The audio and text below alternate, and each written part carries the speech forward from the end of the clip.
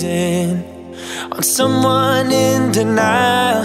Cause you want dollar bills right now, but you gotta work real hard. I know you want it to be easy, so let your guard down.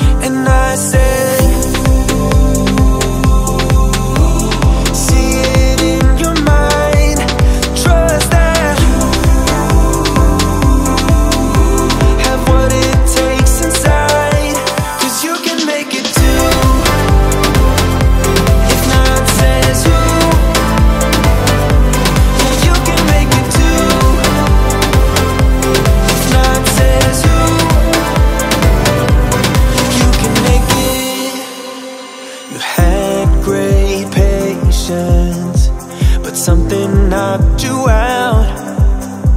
You felt your limitations And filled your mind with doubt. You wanna stay chill right now And don't let your eyes off